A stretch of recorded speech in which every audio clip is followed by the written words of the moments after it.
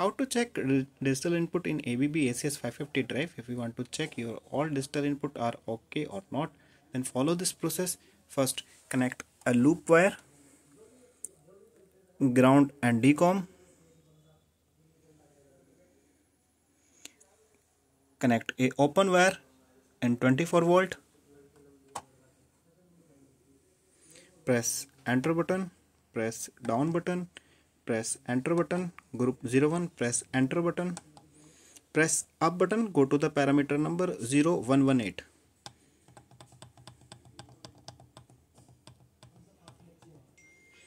in parameter 0118 we check 3 di di1 to di2 or di3 press enter button two times. Here it show three zeros which means di1 is in open state di2 open state di3 is in open state. So let's connect. 24 in di1 now di1 is okay. Connect in di2 di3 now all di are okay if after connecting 24 in any di this means if value not change from 0 to 1 your digital input is faulty.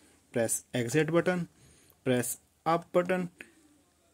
In parameter number 0119 in parameter group number 119 we check di4 di5 di6 same process press enter button two times. Now all value show zeros. Now connect di4 you can change here value change di5 and di6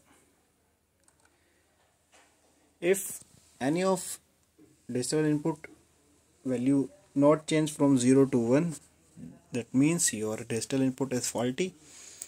Press exit exit exit button go to the main display